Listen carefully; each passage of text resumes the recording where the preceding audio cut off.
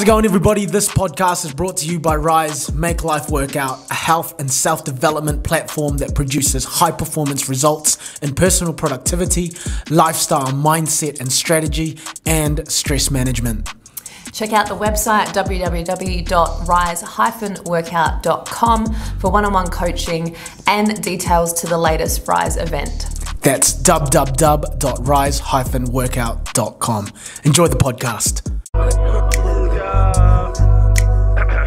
That's a vibe. She wanna vibe.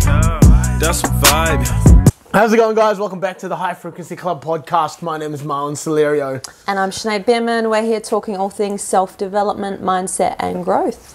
We're going to bring back a uh, audience favorite, the Q&A today. So it's just Yeah. going to be us answering questions that we re- received uh, over across at the time and the ones that we weren't able to answer uh, in the previous episode. So I reckon let's just get straight into it.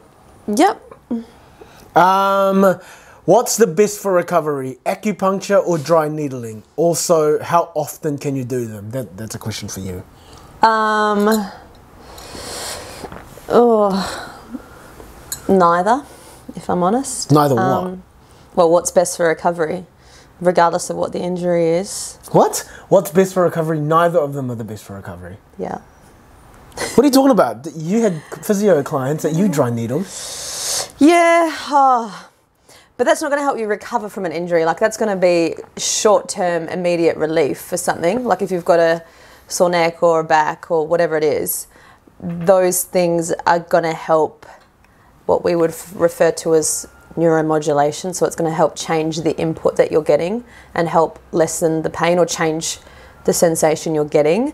But neither of them are going to help you recover whatever the injury is. So that's going to be like a multitude of things that need to be addressed in regards for something to recover. So, example, if someone's hurt their neck, it's going to be a combination of, well, I guess addressing how they injured it in the first place, whether it was at the gym or, um, you know, a weekend in the garden or whatever, and addressing a lot of other things as well their, their sleep, their nutrition, their hydration, their training. So wait, so let's say someone's injured their calf, right, and they Mm. come to a physio for dry needling. By dry, what does dry needling do specifically? It puts a needle into the muscle, Into the trigger point of the muscle, yeah. so then blood flow feel- can yeah, happen. Go to that area and you feel that like twitchy, spasmy sensation. Yeah. Which in doing so is changing the stimulation you're getting in that area. Sim- So- same as foam rolling. Like it's just changing the sensation you're getting in that area. Really? So really, it's just tricking your mind into instead of your your mind and your nervous Mm. Yeah. system focusing on the injury, you're now focusing on the spasm that just happened because a needle went into you. Mm. So you're not actually recovering any faster or any more effectively. You're just tricking your mind into a new sensation. Yep. That's witchcraft.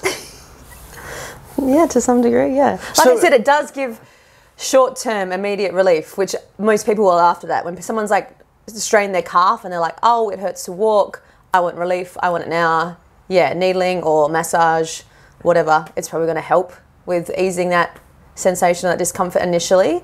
But in regards to like recovering from that calf strain, just repetitively getting dry needling or acupuncture isn't going to help your calf be recovered.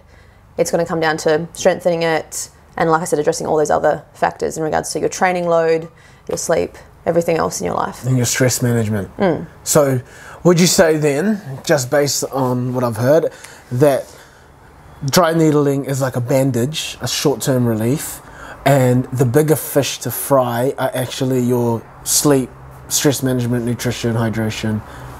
Or just, yeah, or other factors in your life. That's just a, yeah, like I said, that's a short term, short term reliever, which What- is not bad. Like I said, short term, yes.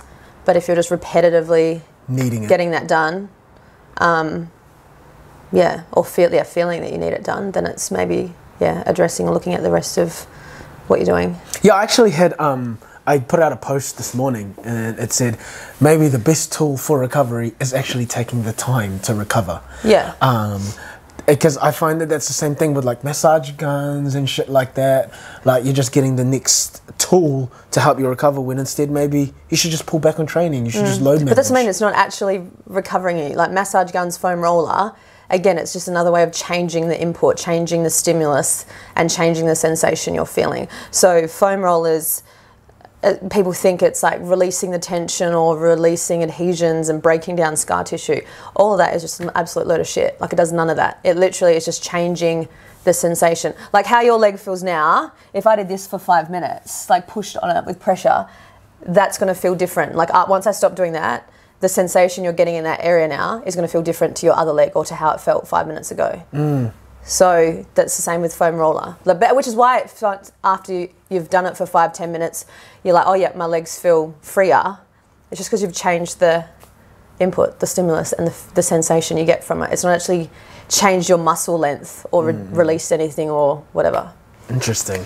Um, first, I think also I forgot to read this part before we started because we've already seen some of the questions.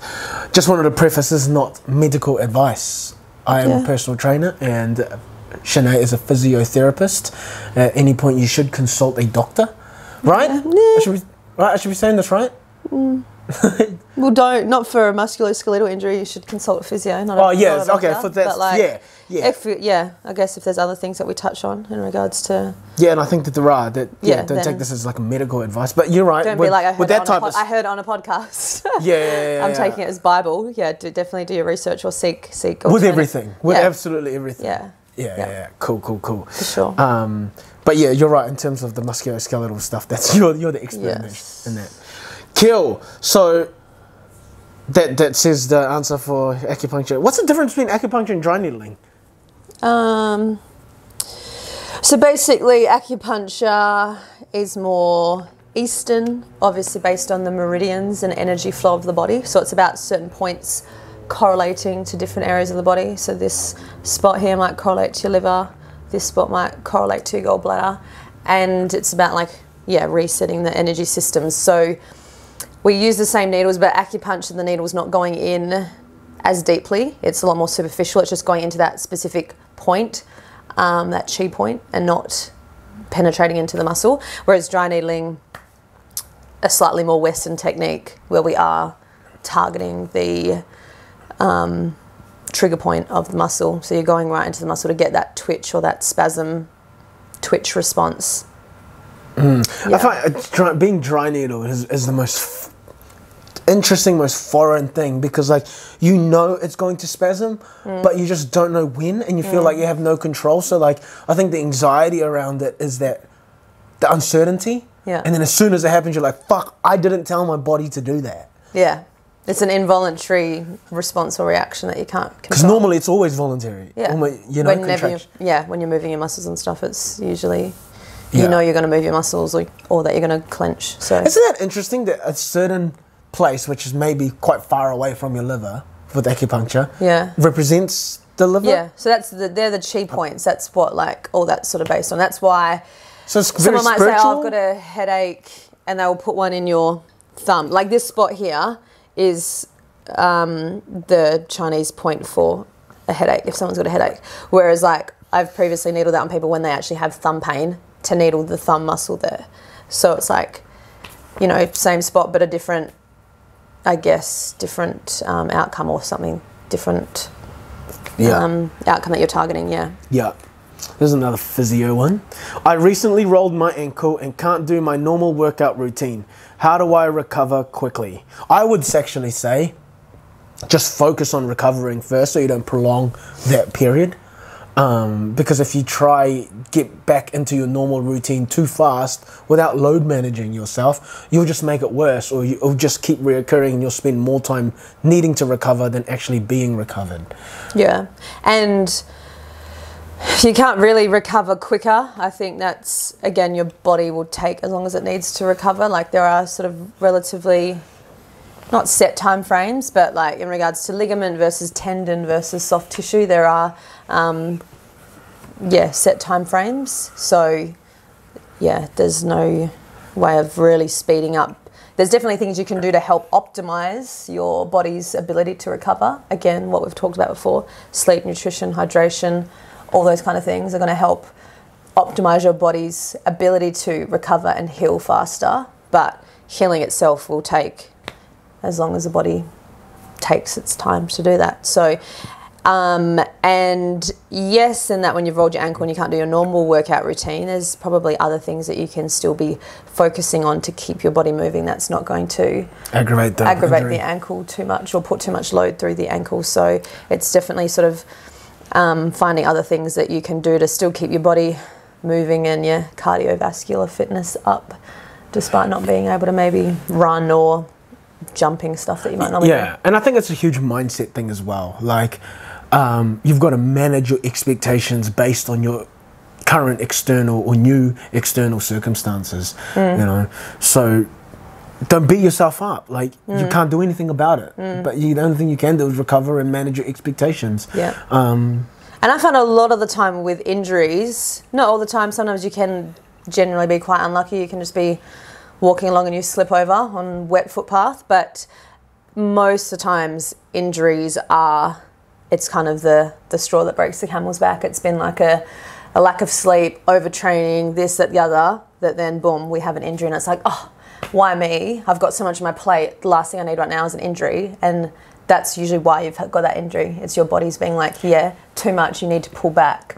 And it's unfortunate that you have to get injured in order to learn that. But um, yeah, I find when you have an injury, it's it's usually there's there's you've got too much on your plate, physically and mentally and emotionally, etc. And it Yeah. manif- manifests as that physical injury that you just think, oh my god, like I've got this meeting on at work, I've got this assignment due, or I've got this, got that. I cannot be dealing with having like a fat ankle now that I can't put weight on. It's like that's why you've got it. is for you to try and cut back on. Yeah, outcomes happen because of a process, Mm. right? And um, it's the same with with uh, you know an outcome is that you've lost X amount of weight, or the outcome is that you become injured. There was an accumulation of moments before that happened, Mm. and it's always the things that we don't can, can that we don't tangibly Or don't give much value to. Yeah. yeah, that we, we do see. Like, for example, I had a client and she hurt her back. And she was like, I don't know how I did it because I was just picking up clothes as I would normally pick up clothes, no different to any Saturday, uh, Sunday um, day, you know? And I was like, okay, well, if it's not, if that's not the a new variable, like, what else? Tell, tell me about your week. And what we boiled it down to, you know, long story short, was that she had an extremely highly stressful week of work and she didn't sleep that well because she was kept up bec- of the um, the load management of uh, well lack of load management with the work and lack of stress management and it was just through that heightened state that her nervous system was already so sensitive to an Yeah. injury Yeah. you know Yeah. and a a lot of people don't see that Yeah, there are a lot of people, and it's not to you, I guess, have that conversation with them and draw it out of them. But so often people do think that they think, oh, it was such an innocuous injury. Like I just bent forward to pick up a pair of shoes, and boom, next minute my back locked up and spasmed, and but and they don't. They think, oh, I've picked up those shoes every morning when I'm on my way to work. Why mm. today all of a sudden it has my back locked up?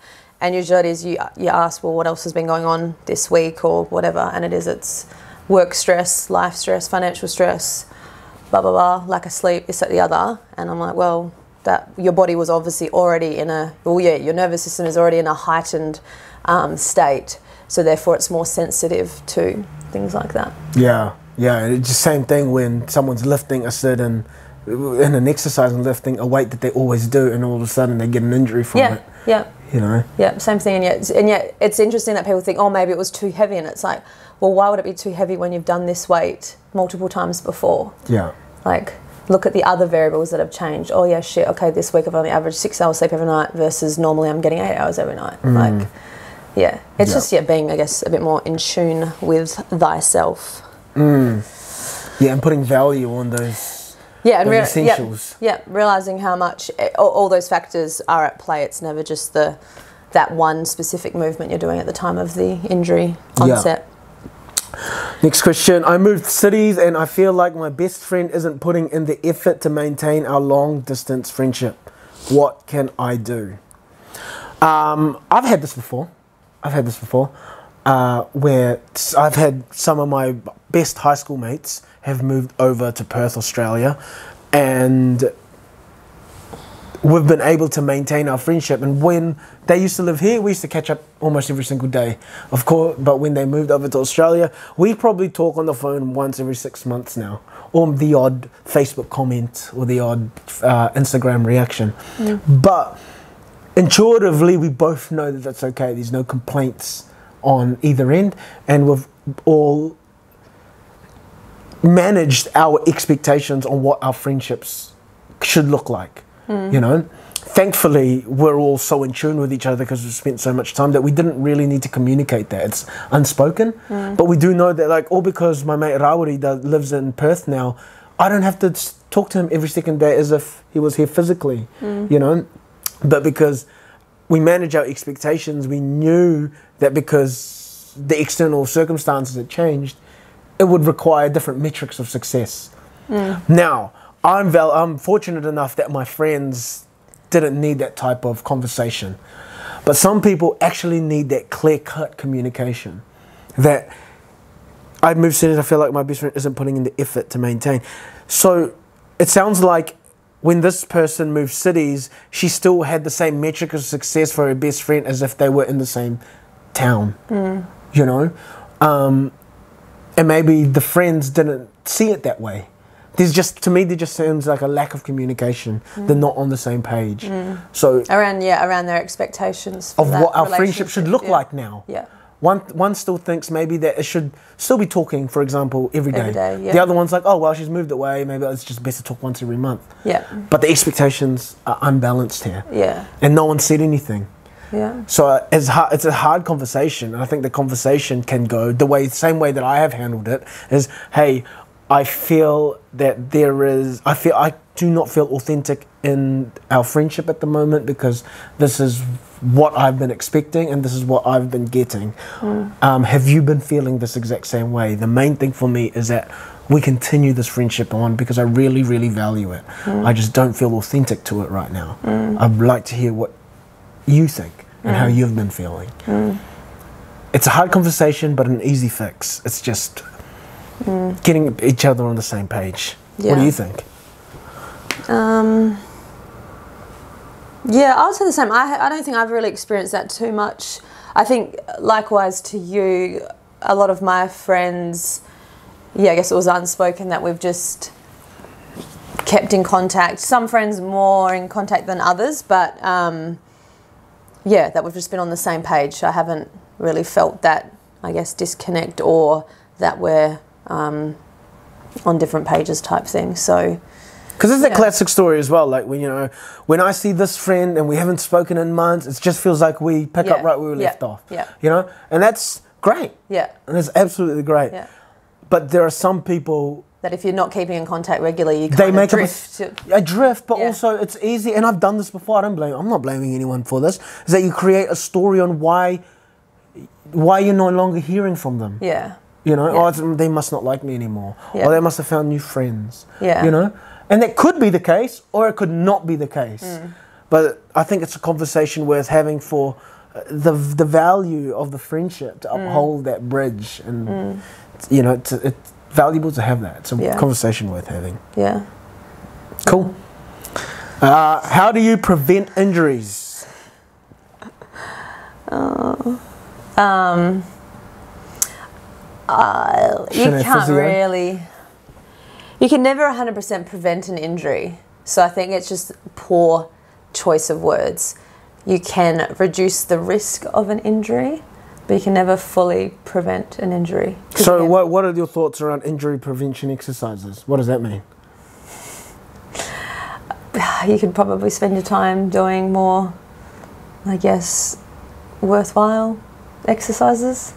Just in general, building it, yeah, working on your strength and your coordination and your balance and power, depending on what your sporting demands are, um, which will all help. But yeah, in regards to preventing an exercise, again, there's so many factors at play when someone injures themselves, particularly on a sporting field or just in general, that you may have done all the prevention exercises under the sun and you might still slip over tomorrow, you might still fall down the stairs, or you might still get okay. tripped, tripped by somebody else, you know? Yeah, so, it's like uh, saying you're going to prevent an injury is like saying you can foresee the future. Yeah, Yeah. Yeah. And you can't. So, particularly with like contact sports, you could do all the injury prevention ever, but like someone tackles you and like your foot gets planted at a certain angle and boom, like, Yeah. you know? Or So- if you're walking down the street and the floor is wet and you slip over, Mm. Yep. you, just, you can't prevent Yeah, that happening. Or someone trips you or whatever. You know, you're not always going to be able to catch yourself. Again, yes, if you've got relatively good strength, balance, all the basics, you, you're going to probably have a better chance of, um, well, like I said, reducing the risk of those or the intensity of that kind of exercise um, and injury. But yeah, Yeah, so there's a big difference between injury prevention, which is fake, yep. Am I right? Yep, and risk and, reduction. and risk reduction of injury. Yeah, cool, cool, Yeah. cool. You Yeah. gotta be, you gotta be, your use of words, eh? Because I think Yeah. why it's important to really be aware on your use of words, especially as a health professional, is it because there comes a mindset around it. Yeah, huge mindset. And that if someone, if someone, example, if I was seeing you as a PT and you're going through all these exercises, being like, oh, Shenae, these are going to help, you know, prevent injuries, will prevent you getting a sore lower back, or this will prevent you getting knee issues. And then one day, I'm like, yo, I've got a, low, a sore lower back. Like I picked this up on the weekend and I've hurt my back. Like all those exercises we're doing, they were obviously not right, or it was a waste of time because I've still hurt my back, even though you said that those exercises were going to prevent me getting back pain. Versus, well, no, actually, those exercises were just reducing your chances of injuring your back didn't mean that you can't not injure your back because yeah it's such a that would be a huge sort of um, disappointment to people or, or feel like oh all, all that training was a waste of time then all those exercises i was doing with my pt was a waste of time because i've still got injured so yeah i think really clarifying those kind of things is important for like you said for mm. people's mindset around that kind of stuff understanding that injuries will happen yes you can reduce your chances of injuries but you may still get an injury regardless Cannot prevent them. regardless of how strong your core may be or da da da da. I think Yeah. people are quick to, as soon as someone hurts their back, it's like, oh, poor core strength. Just like, well, even if you have the strongest core, you can still hurt your back. Like, yeah. Yeah. Mm. Cool beans. Anyway. Um, what's the Rise event about? Oh, that's a great question. I actually just literally got. Thank you to everyone who has bought a ticket. We get notifications when you do. Um, And literally, as I've got my phone in my hand, something came up that someone had just bought a ticket. I'll go into it later. But the Rise event is about. If, it's pretty much like a live podcast that everyone can come to. Yeah. And instead of just having one guest, we've got four. Yeah. Um, and we're opening up the floor and building the community and actually thriving off the energy of what it's like to be there physically. Um, so what it's about is it's a live event centered around speakers from and experts from time management, self leadership, movement, and nutrition. And it will. The, the title is the uh, the secret to strengthening your training and shaping your success. Um, yeah, yeah. It's just help give people better tools, more efficient and effective tools to do exactly that. Yeah. Yeah. Uh, Definitely big focus on practical takeouts and, um, yeah, like you said, sort of being better equipped to tackle those areas of, of your life in order to have a more um, healthy, happy life, I guess. And what I'm what I'm really looking forward to is like I love the engagement that we have it with digitally with everyone, Mm. but now we can really open up that conversation with everyone Yeah, with them there because there's going to be a Q&A section. Yeah, Q&A as at the end of it, yeah. So like what we always wanted to do, why we even started this podcast, was to have these great conversations. Yeah. Now we're going to have an even bigger one. So uh, you can get tickets from Eventbrite. Otherwise, you can go on my Instagram page at Marwin Celerio uh, and buy tickets that way as well. It's going to be on July 30th here in Auckland at Les Mills Britomart. Um, so thankful that they're able to give us their space, and yeah, it goes from 5:30 to 8 p.m. with an interval, and there's going to be food as well there. Yep. If that doesn't get you in, then whew. Um, not a question, but thank you for bringing back baked beans. I've had uh, a lot of people actually message me saying thank you for bringing back. So, uh, Ashley Thompson said, "Bro, you should also bring back the oh, put in pesto with it. I need to try that one. We Avo, Avo on toast, baked beans on top. that one's good too. She was, but she was saying pesto and baked beans. I think Oh, okay, mix it together. nah on toast. On Okay, toast. yeah. Yeah, yeah, yeah. Yeah, Yeah, yeah, yeah, it's good. that's good the combo. basics, eh? Yeah, I've had a lot of people like when I'm eating it and it's like, oh, that can't be healthy for you. It's like, why not? it's beans, man. That's good source of fiber. I, I just think also it's contextual. Yeah, Like if yeah. it's baked beans versus like a Big Mac, Yeah. like yes, it is going to be healthier for me. yeah. If it's baked I- beans, breakfast, lunch, and dinner, seven days a week, probably not because you're not getting great variety in your diet. Yeah, exactly. And also, like, man, for me, my metric of success when I was eating the baked beans was like, there is a fuckload of fiber Yeah. in this. Yeah. And instead, and it's so tasty as well. Mm, and quick and easy. Yeah. Yeah. Yeah. you're welcome. I was the one that got you on the baked bean train. Well, I was the one that got you on the soup and. I got you off. Stop trying to take credit for my MasterChef skills. All right, next question. I'm. Oh, I keep getting sick. Help. You want to go first? Uh, I'll go first. check yourself. in regards to like, bloody empathy. Another thing, well, I guess just going back to the, the essentials that a lot of people don't value, or Yeah. not even just value, or don't focus on, intentionally focus on, is um, you keep getting sick. Help. You're not recovering. Yeah, but no, yeah, audit yourself though. Audit your lifestyle. Check yeah, what you're doing. yeah. There, like- there are things that you are doing that you're not recovering in. yeah, Um, so it's, it's not the change of temperature. You know, that's that's always constant.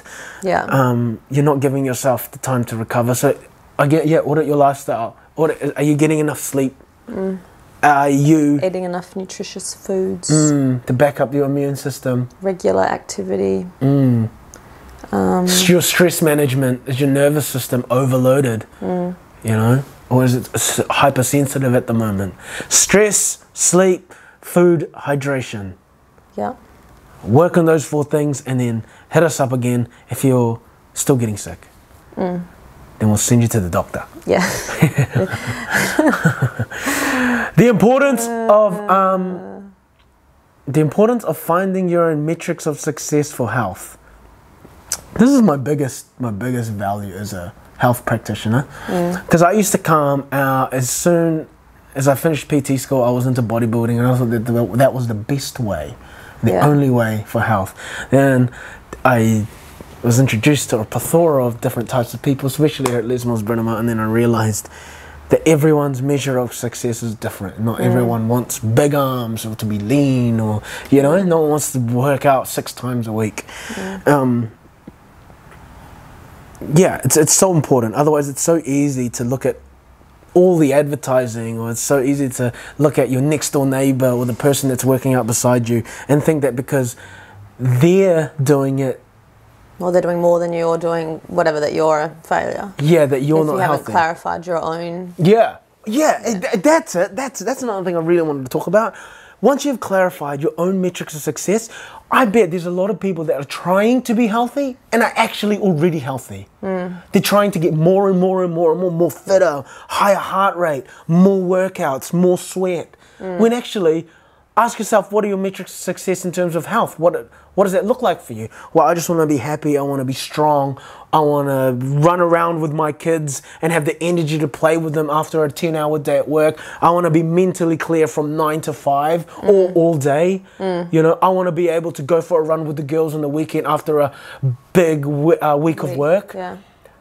like really clarify what your metric of success is mm. because i bet a whole lot of people are already very successful you don't live to be healthy you have health to live you know what i mean Yeah. unless you are a paid athlete Yeah. then your lifestyle revolves around training sleep uh, uh, training and um, you know nutrition, and shit yeah. in your sport Yeah. but if you are not Yeah. Bro, there are so many other factors social life, you know, training, yes, of course, your health, your family, there's fun and adventure. Mm. There's so many other variables of lifestyle that people don't see because they're just so focused on trying to be mm. healthy that they need more, more, more, more that they mm. completely miss out on everything else. Yeah, so probably not just in it in regards to health that you need to work out your metrics of success, but in all other aspects of your lifestyle. Like, what's the my metric of success with my my relationships with my friends or whatever? Is it seeing my friends once a week or trying to see them twice a week? And then that's where you might think, well, shit, if I'm going to the gym twice a day every day, when am I going to get to see my friends? Yeah. So balancing out, like, yeah, what success looks like in regards to your health, in regards to your relationships, in regards to your home life or and family and work, etc. Yeah. Yeah, and like you said, otherwise, I think if you don't clarify your own, you do naturally get caught up in comparing or just not feeling good enough because if you're thinking, oh, well, they're doing more, I should be doing more. Even when you, like you said, stop and reflect, think, well, actually, no, a, success, a successful week of training for me is just getting to the gym three times a week. I've done that. So why am I beating myself up that no, I should have done six sessions this week? So, yeah, definitely. Um, It's hard, yeah. It's hard to be grateful, and everyone wants to be grateful. It's hard to be grateful when you don't know what you're meant to be grateful for, yeah, yeah, and that's that's another way of saying what are your metrics of success. yeah, What are you going to be grateful for? Yeah. And if you haven't clarified that, then man, just go around in circles. You keep wanting more and more and more and more and more. Mm. Yeah. with that, and then forgetting why you're wanting more. Yeah. Yeah. Yeah. Yeah. Yeah. And I think the real answer lies in the type of person you want to be. You know, ask yourself the type of person you want to be. Mm. I want to Yeah. be strong. I want to be happy. I want to be consistent. I want to be reliable. I want to be high energy. Yeah, And you can achieve all of those in the next moment mm. with every single decision. Like you can have it all right here, right now. You really Yeah. could. Yeah. Once I found that out through reading Atomic Habits, I was like, whoa, whoa, whoa. Life is a process, not a destination. And everyone says that, and it's so cliche, but I found that, that landed for me so much more deeply. Hmm. Building identity based goals. Hmm. You know? yeah, great to have external ones, but focus more hmm. on the goals that you can achieve right now, the type of person you want to be. And that will come, the outcomes will come. yeah. Um, are you guys dating? I was iffy about putting this question in there or answering it. I was iffy because when I asked myself, does how does this add value to the podcast? Hmm. How does this? But I think something that is valuable is our level of transparency and our personalities as people. Yeah. And I think that's why people enjoy listening to us. Yeah. You know? Um, so to answer that is yes, we are dating. We've been dating since December 2020. Right? What's 2021 now? Fuck. Time flies. Yeah. Yeah. yeah, yeah. So it's been about six months now. Yeah. Um, you know, sometimes I do think about like what happens if we were to break up? Like what happens to the podcast? I would hope that we were mature enough the same way that we entered this relationship, that we'd be mature enough to solve that problem if it was to ever arise. Yeah. Yeah. Yeah. Well, I think we're pretty good at like work versus relationship. Good. We've got good boundaries, and yeah, Yeah, I, I think a great variable of be doing this podcast is our level of communication. Mm. So we're able to have that type of communication outside of our professional lives yeah, um, and our personal lives as well, which I think is very, very important. yeah, Can't read your mind, and I shouldn't be expected to do that either. yeah, You know, and vice versa. yeah. Cool. So that's Yeah. pretty much all the questions. Yep. All right, everybody. Thank you so much for listening. Um, remember, we have tickets on sale for the Rise event. You can catch it in the ticket link in my own personal professional account at Marwin Celerio. Um, Yeah, and to keep up to date, make sure you're following at the High Frequency Club. We're posting every day. We love to know your thoughts on things, whatever we're sharing, and let us know what you're consuming as well. Yeah. peace. The consuming soup and buffet rolls. That's a vibe. She wanna vibe. That's a vibe. Yeah, uh, that's a vibe.